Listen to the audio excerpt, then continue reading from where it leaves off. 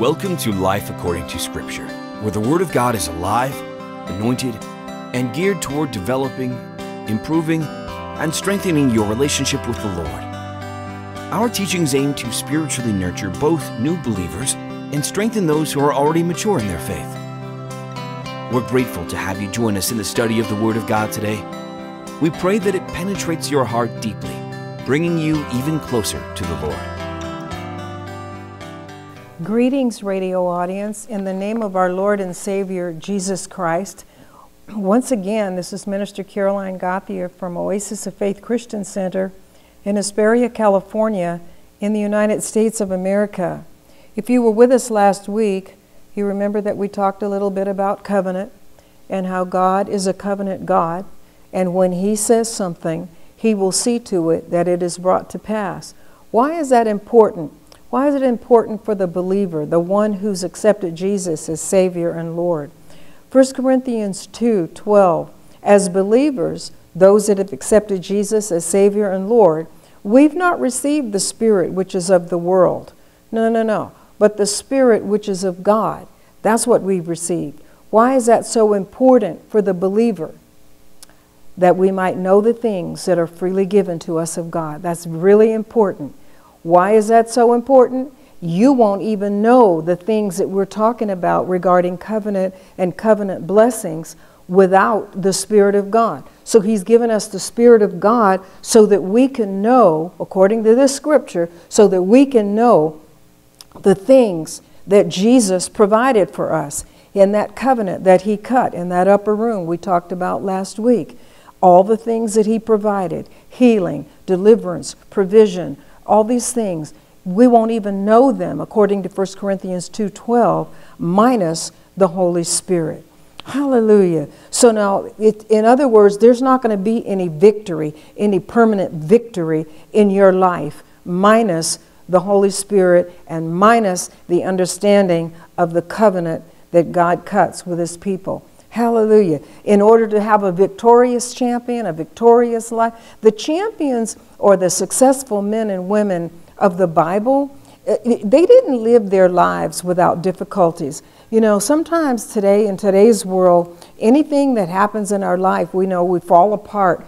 But, you know, and we act like people in the past did not have issues. They had issues. The Bible talks about how God brought them through these things. And for the believer that believes the Word of God, that obeys the Word of God, that is sincere in the following of the Lord Jesus Christ, there's always a way provided out for you, no matter what Satan comes at you with. So the champions and the successful men and women of the Bible, they had difficulties. Many of them had great difficulties. We won't go into all of them here, but they, a lot of them had difficulties. But so we're not going to live a life on this earth without difficulties, but we have been provided a way out so that we walk in victory over those difficulties. Hallelujah. That's a covenant from God. That's His word. And He said, if He spoke it, will He not bring it to pass? But you'll notice they, they came out victorious in those difficult situations. How come? Why is that? How is that possible? In some of these situations. They were ordinary people, just like you and me. But what made them triumphant or victorious in different times, they made a decision.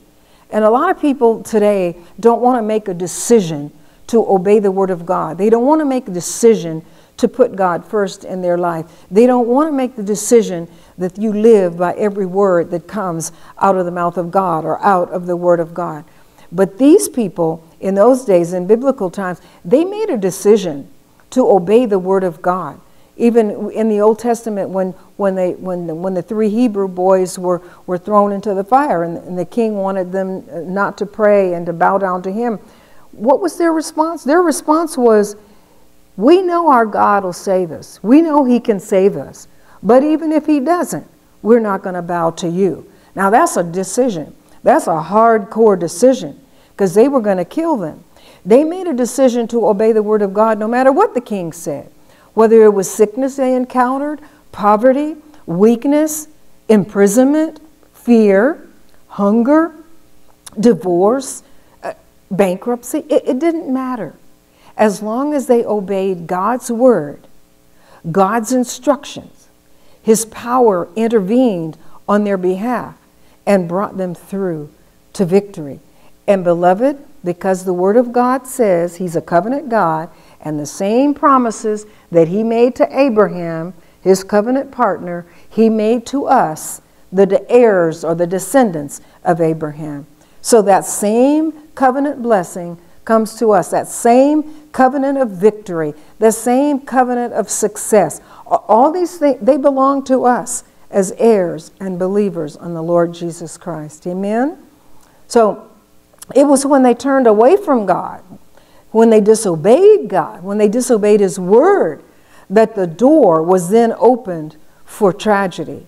In, in one situation in Judges 6, starting with verse 1, Israel turned to worship false gods and then suffered seven years of horror at the hands of their enemy, the Midianites. Well, in those days, they built idols uh, out of all kinds of things and they worshiped, and that's what they would call a false god. Well, today, we don't so much build a, a physical thing to bow down and worship, but we do have things in our life that we worship, we put before God. It can be any number of things, but anything that you give God's place, because God's place is always to be number one, first place. Whenever you put anything or anybody in first place, you have a false God in your life. So, disobedience to the Word of God was very costly for them. For Israel, it was the building of calves uh, that they were worshiping. Today, worshiping false gods takes many forms. Whatever you put first place in your life is worshiping a false God. For some, it's money. Others, it's a house, a car, a job, family members. Anything you put before God, either way, it's a false God because it's in first place and that's first place, that's God's place. Hallelujah.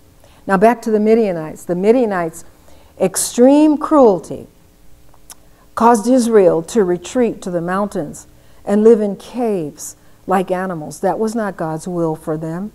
Israel would plant crops only to have them overtaken by the Midianites.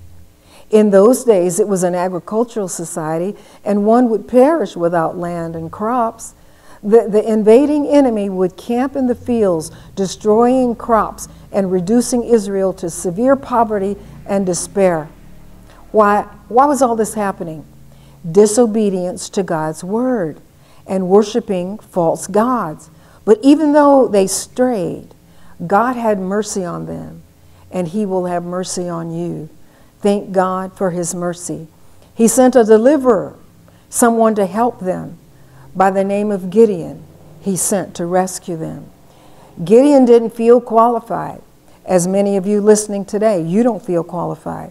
You don't feel like you're good enough. You don't feel like you measure up to society's standards. Gideon didn't feel qualified either. He didn't feel qualified at all to rescue these people from, that, that God spoke in, into his life, encouraging him with these words. Watch this. And, and think of him speaking this to you. He said, Gideon. Now, Gideon felt like nothing. He felt like nothing. He felt small. And God said to him, Gideon, and watch what he called him mighty man of valor. Gideon didn't feel like a mighty man of valor. Gideon didn't look like a mighty man of valor. He didn't act like a mighty man of valor. He didn't talk like a mighty man of valor. He didn't even act like any, anything pertaining to a mighty man of valor. Yet, God said to him, Gideon, mighty man of valor. That's how he sees you.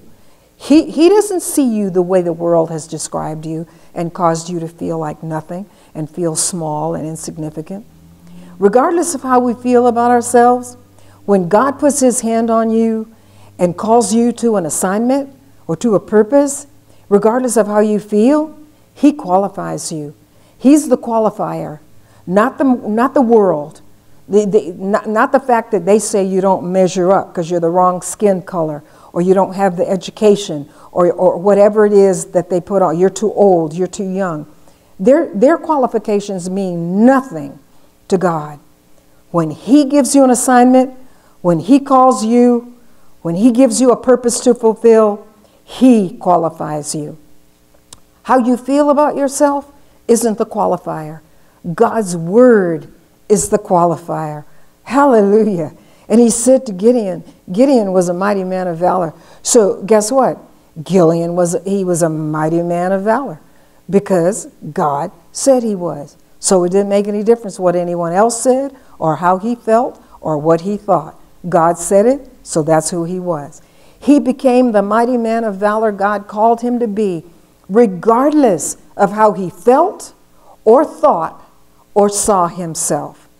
You might be thinking, like Gideon said to the angel, if God is with me, watch this. This is what we say when we go through hard times, when things hit our families, when we lose a job, and all, we say, if God is with me, why are all these things happening?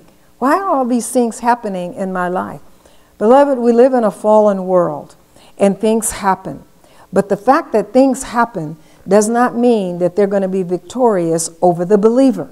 If you believe the Word of God, if you act on the Word of God, if you speak the Word of God, if you behave, cause your behavior to line up with the Word of God, you are going to come out victorious in the end. We mustn't allow ourselves to be like Gideon, so focused on the wrong, the bad things in our life, so focused on what's going wrong, so focused on a bad mood, so focused on depression, so focused on divorce, so focused on losing a job. We can't allow ourselves to stay focused on all these things and not recognize what God is doing in our lives. Gideon had an angel standing there talking to him, and he was focusing. He had an angel from God standing there talking to him, giving him direction. And what's he focusing on? He's complaining about the negative things that are going on in his life. Beloved, don't let that be you. While God is doing one thing in your life and you're standing there focusing and, and murmuring and complaining about all of the negative things in your life, focus on what God is doing. If the doctor says you're sick, you're still here.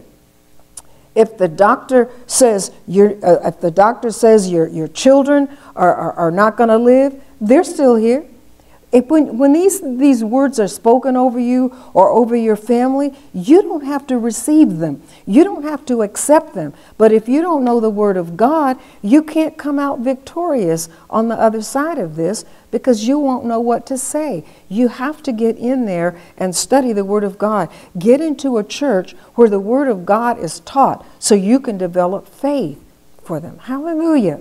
These things belong to you according to Scripture. They come from the covenant of God. Healing is in the covenant of God. Deliverance, the covenant of God. All these things, they belong to you and your family when you believe that Jesus Christ is the Son of God and He's your Savior and Lord. Beloved, we need to learn to gird up the loins of our mind. Scripture says, Be not conformed to this world's way of thinking, but be transformed. What does that mean, be transformed? Be changed in your thinking. You can't do it on your own. It has to be done with the study of the Word of God. Romans 12, 2 and 3, changing our thinking and lining our thinking up with the Word of God will unlock many mysteries in, in, in the Word of God for our life. How can I say that? Listen, according to Colossians 1 26 and 27 is how I can say that. It says, even in the mystery which has been hidden from us from ages and generations, Scripture says, now it's made manifest to his saints, to you, the believer on the Lord Jesus Christ. Now that's all the time we have for today, beloved. You can reach us in the United States at Oasis of Faith Christian Center, 17520 Lemon Street, Hesperia, California 92345. In the United States, you can also reach us at lifescripture at gmail.com. Now, until we come into your home again next week, I pray the blessing of God over your life and over your family. I thank you that you will take this word deep into your spirit and into your heart, that you will study it and meditate on it, and may God give thee increase.